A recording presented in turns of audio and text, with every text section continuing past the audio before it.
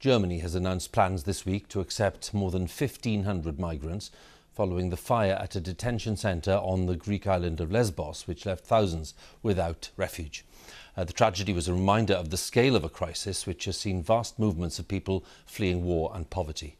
Five years ago, at the height of the migrant crisis, the BBC's Fergal Keane brought us the remarkable story of Nujeen Mustafa, a Syrian refugee who'd crossed Europe in a wheelchair. And Fergal has been talking to Nujeen again to see how her life has changed. Whatever happened to Nujeen Mustafa? An extraordinary teenager in a tumultuous time. I have to be an astronaut to go out and see and find an alien. yes, I want to meet the queen. Yes. Born with cerebral palsy, Nujeen escaped war in Syria's Aleppo and travelled 1,400 kilometres to reach the Greek island of Lesbos. When I met her on the Hungarian border in 2015, surrounded by other refugees, Nujeen was exhausted, but irrepressible. A girl who'd learned English by watching soap operas. You should fight to get what you want in this world, so yes, it's a journey for a new life. Hungary shut its doors to them. So Nujeen and her sister Nazreen pushed on across the Balkans to a detention camp in Slovenia, where I found her at her lowest ebb. Nujeen, do you know where you're going? I don't know. I'm lost here.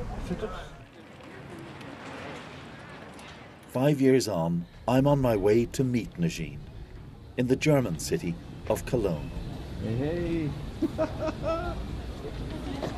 Oh dear. I wish I could hug you, but I can't. Oh my god. All this social distancing. Memories flooded back.